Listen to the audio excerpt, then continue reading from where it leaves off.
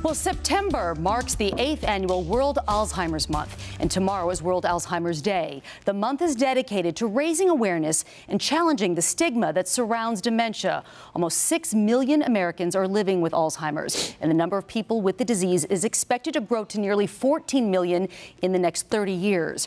Joining us now to talk more about this is Dory Burgess. Dory is the programming director with the Alzheimer's Association. Dory, thank you so much for being here today. Thank you, Colleen. Let's first talk about risk factors for Alzheimer's. What are some of them?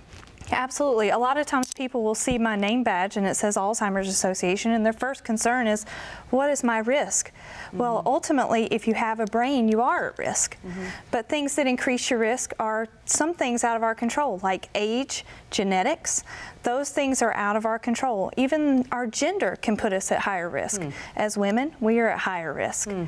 So ultimately, we want to help people and encourage people to do things to change their lifestyle factors that may put them at risk, because those are things that are in our control. Okay, so what are some of those things? Things like eating a heart healthy and brain healthy diet, exercise, cardiovascular activity, no smoking and limited drinking. We want to encourage people, particularly with a lot of the news stories that are coming out uh, with cigarettes and vaping, that mm -hmm. those mm-hmm. things put your brain at risk as well. Yeah, so some of that stuff, like you said, is under our control, our lifestyle, our habits. Where can people get more information? Um, I know this is such a devastating disease, certainly for people who have family members who are struggling with Alzheimer's. Uh, where can they get more information for resources and, and for help for families? Well, that is what we do at the Alzheimer's Association. We are driving towards research, care, and support.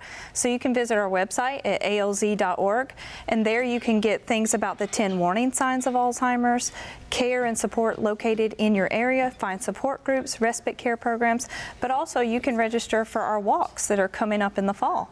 We have one in Rock Hill October and one in Charlotte in November. Can you give us a few of the warning signs, things that people should be on the lookout for? Absolutely. One of the things that we tell people first is if you notice that your family is repeating things, repeating the same stories, sometimes even losing the ability to do familiar tasks, something as simple as brushing your teeth. Also, we notice that people have confusion with time and place that happens more frequently uh, as the disease progresses. Then you may notice that people are also misplacing things and losing the ability to retrace their steps. And then they might have a little paranoia, suspicion, and accusations that accompany that. Mm -hmm. uh, because if I didn't move it, then someone else did. Mm -hmm. And ultimately, you may notice that people are having mood and personality changes. They may substitute words for various words that don't mean the same thing. Uh, but ultimately, you can find all of that information on our website. Yeah, check out the website for more. Dory Burgess, thank you so much for your time. Delighted. Thank, thank you. you. All right, Bill.